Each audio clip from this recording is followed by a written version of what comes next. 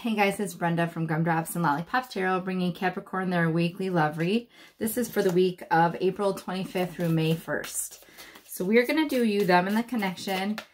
We are going to get some Sacred Healing Journey cards from Angelic Revelation 144, the Hermit Tarot cards, Channeled Love Messages, Love Vibes from King of Aloha, the Hidden Truth Oracle card, Divine Love Guidance, um, I'm sorry, what White Rose Guidance, Divine Love Messages. And then we're going to finish off the read with the Angel Guide um, card from Kyle Gray. All right, so keep in mind, Capricorns, these are general readings. If you feel like this is uh, not your read, check your, your moon or your rising signs. If you're unclear to what your moon and your rising signs are, there's a link in the description box below that will give you that information if you go to it. There's also a link in the description box below that will give you um, a link to my webpage if you're looking for a personal read. And once again, thank you, thank you, thank you, thank you for all the views. I appreciate um, your support more than you guys know. So thank you, thank you. Well, your, your person wanted to be a little bit extra, so you got four cards there. Let's see the connection. Let's see what we got for Capricorn and their person. Well, that's not bad. Not Ooh, nice, guys. Ace of Cups. So new start in love. Um, and I do see a lot of love between the two of you. I definitely see this as a potential soulmate connection. So let's see what's happening. It's exciting. Nice. Nice, nice, nice. Okay, let's get started. So for you, Capricorn, um, I definitely see you healing your heart a little bit here. We have the Four of Swords. So I feel like you may have recently experienced um, some heartbreak, some sadness and you are kind of pulling yourself back and healing yourself. You're getting that inner peace. You're working on yourself. You're healing your heart. You're resting and you're recuperating. Um, we then have two threes, the three of pentacles and the three of cups. So since this is describing you per se, I feel like um, you are definitely a person that is willing to put in the work to have a team situation, right? To have a, a relationship, to have a commitment, you're willing to put in teamwork. You're willing to work together, build, grow together. Um, you're not uh, looking for something just to be like a, a, splash in the pan. You definitely have a lot of love for this person. The Three of Cups for me in this deck is definitely uh, a soulmate connection, uh, true love. This is like a wedding reception, an, enga an engagement proposal party. Um, definite uh, true love where you are like solid friends before the love even happens. So it's not only love, but it's all this friendship as well. So it's like being in love with your best friend, like literally not falling in love and then becoming best friends with somebody. So um, your person, I don't know, we're going to have to clarify this one card. Four cards came out, so I don't know if that was the card that came out in addition. I think it was actually prior to, but whatever. So we have the Seven of Swords, which means lies and deceptions, right? Um, I'm going to clarify this because all of the other cards are love, wish fulfillment, um, compassion, empathy, sympathy, caretaking, loving. So um, we have the Queen of Cups. So your person's shown up as the Queen of Cups. This could be a water sign. Um, doesn't have to be. I mean, there's swords and pentacles here as well, but um, loving, compassionate. This is a nurturer, a caretaker. This is someone that's oozing love. They want to take care of you. They want to nurture you. It's not like motherly really, but could be like very just genuine care, concern, and, and showing you tons and tons of love and compassion. They are showing up as a Ten of Pentacles. This is that blended family. This is that long-term commitment. This is that marriage um, stability. This is husband, wife, dog, cat, house. This is long-term marriage kind of commitment or material. And anytime I say marriage, for those of you that don't want to get married, it's just a higher level commitment, okay? Committed. And then we have the Nine of Cups, which is like a wish fulfillment, right? Um, a wish fulfillment, so much love, so much generosity. And the Nine of Cups um, is definitely a wish fulfillment. And it's definitely an abundance of love. So this person is extremely loving and caring and passionate, wants a long-term commitment. Um, I think they're your wish fulfillment, but I'm not sure what this uh, Seven of Swords is here. That definitely wants to come out. So let's uh, see what we can clarify.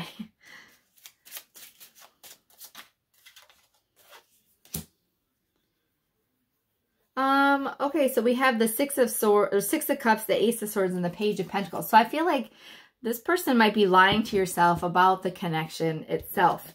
Um, because the Six of Cups to me is this soul connection. So perhaps this person initially is going to be like, I've known Capricorn forever. Like, I don't like Capricorn like that. That's not, I mean, yeah, I have some love for them. I feel some nostalgia here and we had some fun times and, um, but they're not, they're like a friend. Like, I don't know. That's, I feel like that's how they're kind of lying to themselves. Um, but they will be getting some clarity with this Ace of Swords here. So they'll be getting some clarity. They'll be figuring out. It's going to be a slower process. They're not going to jump straight to it. But I think, like I said, someone who falls or is a friend first and then falls in love, I think that's what this person's going to kind of be talking down their feelings about you because they're not going to think of you that way initially, but bam, they will.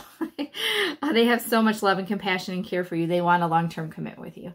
So, um, and again, I think this is a similar clarification energy is it clarified again in the connection. So we have the Page of Pentacles. So it's, or I'm sorry, the Knight of Pentacles, which is a slow and steady um, pace, right? This is like good news. It's a slow and steady connection. It's not something that's going to just go from zero to 10 in a month. It's going to be a longer process. I think this friendship's going to continue to build.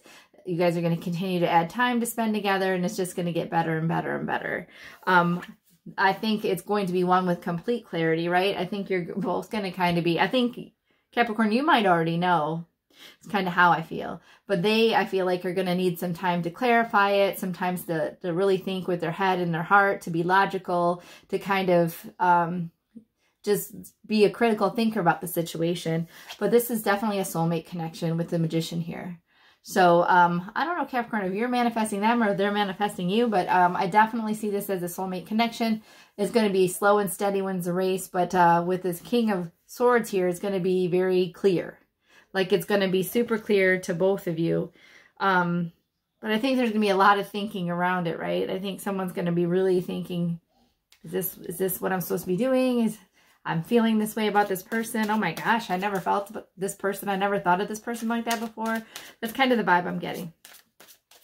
We're going to get a Sacred Healing Journey card from Angelic Revelation 144. A couple of them. Lucid Dreams, Astral Travel.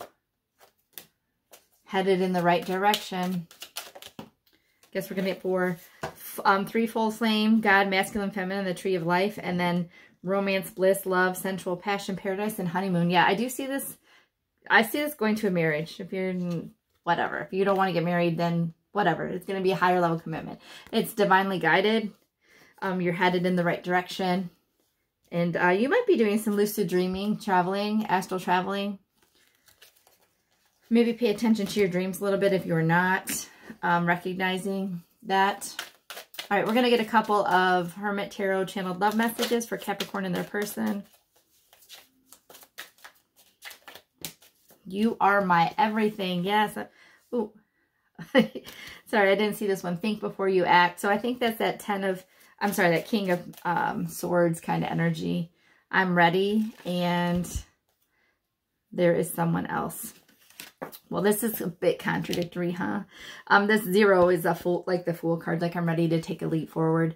And then the other person is saying like there is someone else. So um, perhaps that's you almost because you're showing up with the Four Swords energy. So you're healing from this connection that you maybe you're ending currently or will be ending soon.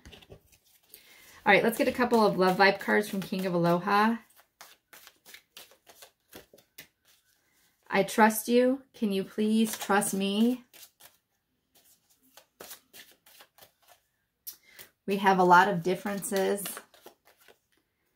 I can give you everything you want. Mm -hmm.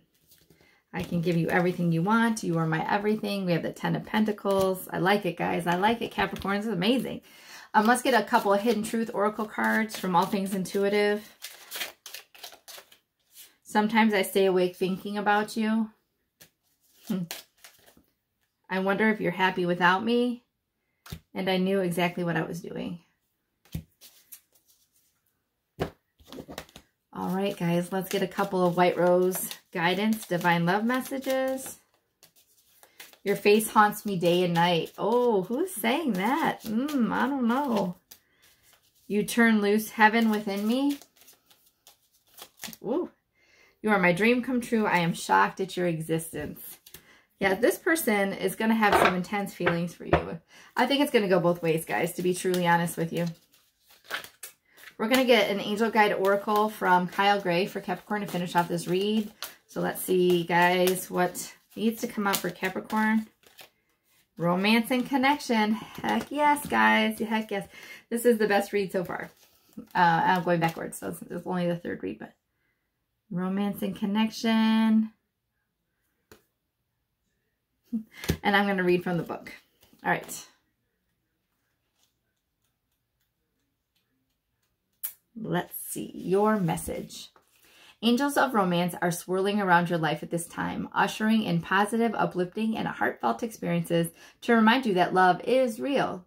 Allowing yourself to be romanced to receive and experience a true connection is important at this time.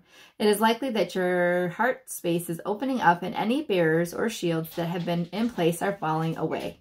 If you find yourself scared or uptight about romance, know that this is not the only not only a sign that you would like to experience it, but it is also something that your energy system really needs.